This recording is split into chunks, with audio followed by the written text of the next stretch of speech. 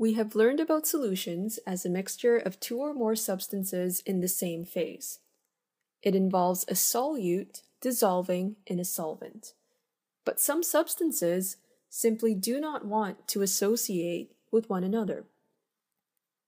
As an example, when oil and water are added together, they form two distinct layers.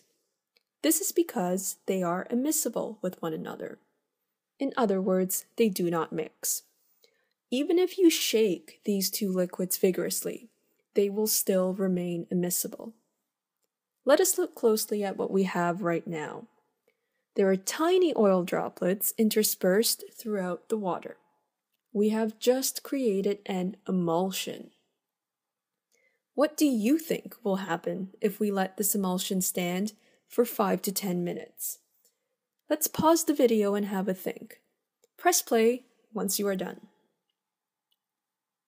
Since oil and water are immiscible, the oil droplets will reform the original layer. Common everyday emulsions include milk, mayonnaise, ice cream, and paint. These emulsions are mostly oil droplets in water. Emulsions can also exist as water droplets in oil. Real life examples include margarine, lotions, and facial creams. The world's most popular emulsion is, without a doubt, ice cream.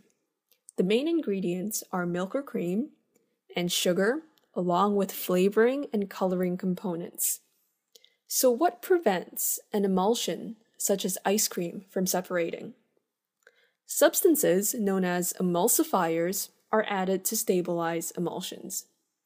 When making ice cream, egg yolk is commonly added. The active emulsifier in egg yolk is called lecithin. Too little lecithin will cause the ice cream to separate, and too much will ruin its texture and flavor. All emulsifiers have two components a hydrophilic or water loving head and a hydrophobic or water fearing tail.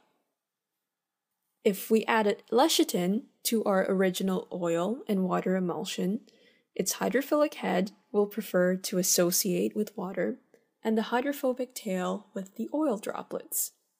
This prevents separation and thus stabilizes the emulsion.